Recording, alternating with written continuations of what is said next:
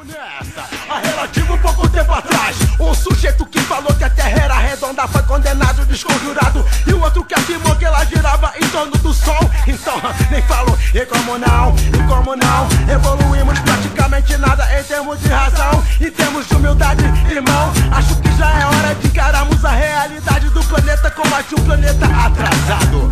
Onde quase geral cai repetidamente, repetidamente nas velhas armadilhas do Estado. mesmo condenado. Afinal, como um barbalho ia ser